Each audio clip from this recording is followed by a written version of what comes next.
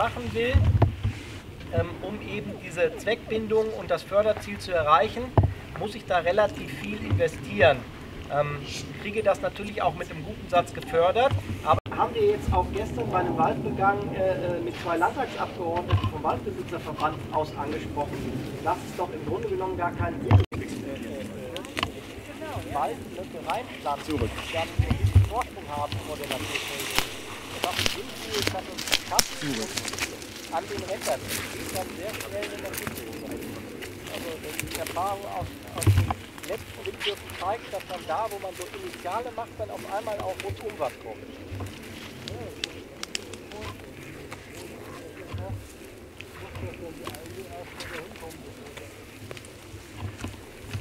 nächste vielleicht da am Waldrand steht, ähm, der, der Eichenleher, der bringt die doch auf den Flächen aus. Ich sage nicht, dass da ein lupenreiner Eichenbestand daraus besteht, aber als Mischbaumart werden die in die Flächen reingebracht.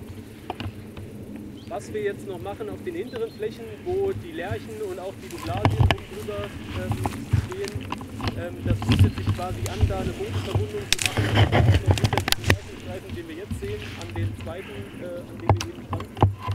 Ähm, dazwischen werden wir mit Bodenverwundung arbeiten, um da Lärche, Douglasie, Birke, ähm, hier auch in fünf Jahren noch jemand reinlaufen kann und äh, äh, schauen kann, wie läuft die Entwicklung, müssen wir irgendwo pflegend eingreifen oder nicht. Ähm, und wir können hier mit einem relativ kleinen Invest, wenn wir eben diese Fettaugen hier reinpflanzen, an klimastabilen Baumarten äh, in Kombination mit äh, der Naturführung, die hier aufläuft, mit relativ kleinem Aufwand diese Fläche wieder in Verjüngung bringen. Und das wird ein bunter und strukturreicher Waldbestand. Hier brauchen wir nur Geduld. Das dauert in diesem Konzept deutlich länger, als wenn ich jetzt einmal die Fläche komplett mulchen würde und mit, mit äh, 1,50 Meter hohen Eichenpflanzen bestocken würde. Das, das würde wahrscheinlich auch funktionieren, kostet aber ein Riesengeld. Äh, ist die Frage, wie ökologisch sinnvoll ist, diese ganze Fläche mit Mulcher einmal zu bearbeiten. Ähm, hier braucht man halt ein bisschen mehr Zeit, aber es wird strukturreicher. Äh, das sind ja ökologisch wertvolle Flächen, so wie sie jetzt dastehen.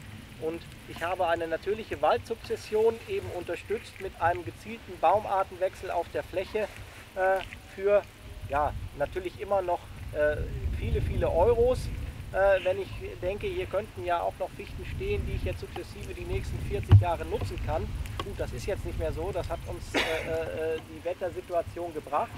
Aber hier kann ich eben mit einem relativ kleinen Invest einen zukunftsstabilen, äh, baumartenreichen, strukturreichen Waldbestand schaffen, der natürlich das Interesse erklärt. Ja, ja, ja. Das war hier die, äh, die der aus der Nullgasse GPS gesteuert gemacht hat. Die ist wirklich bolzenstrack. Die hier? Ja. Ja, ja, okay.